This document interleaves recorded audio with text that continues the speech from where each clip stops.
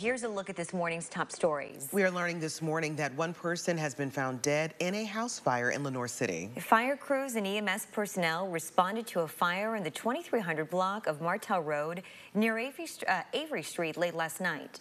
Officials said the name of the deceased person will be released once the family is notified, and the cause of the fire is still under investigation.